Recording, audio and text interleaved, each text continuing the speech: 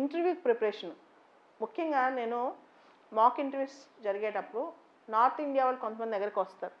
వాళ్ళు తక్కువ కంటెంట్ ఉంటుంది కానీ చాలా బాగా కన్విన్స్ చేస్తారు.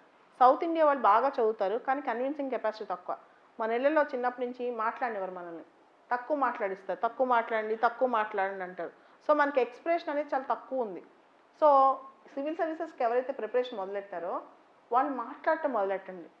ఇప్పుడు కూడా ఒక క్లాస్ రూమ్లో క్వశ్చన్ అడిగితే ఆన్సర్ తెలిసినా చాలామంది బయటకు మాట్లాడరు.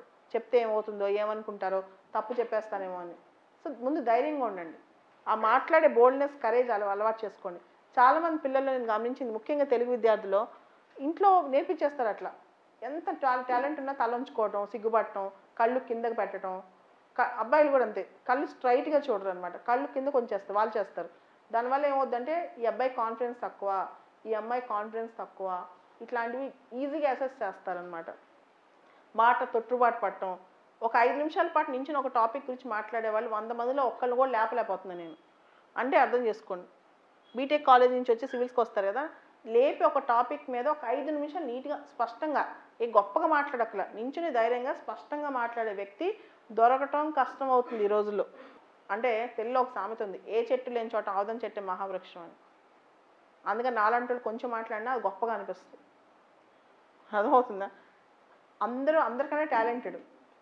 ఇప్పుడు వచ్చిన పిల్లలు ఇప్పుడున్న టీచర్స్ కన్నా టాలెంట్ నాకన్నా అందరూ టాలెంటెడే.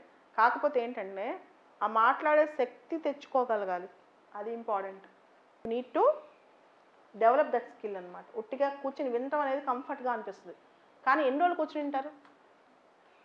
ఎన్ని రోజులు కూర్చుని వింటారు? ఒక ఫేమస్ కోట్ ఉంది ఇంగ్లీష్లో.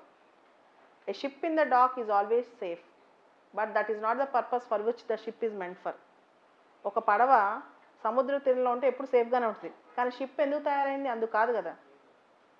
ఎప్పుడు సెయిల్ అవ్వాలి? పయనించాలి. పయనించకుండా నేను తీరంలో కూర్చొని చూస్తూ ఉంటానంటే ఎవరి జీవితం వాళ్ళదే కదా. నా జీవితం మీకు రాదు మీ జీవితం నాకు రాదు. దట్ ఈస్ వెరీ ఇంపార్టెంట్ అది ఉంటే అసలు ధైర్యం కోల్పోరు. ఇది అంతా ఈ ప్రాసెస్ మొత్తం నేర్చుకుని అంతా చేయడానికి two three years prelims.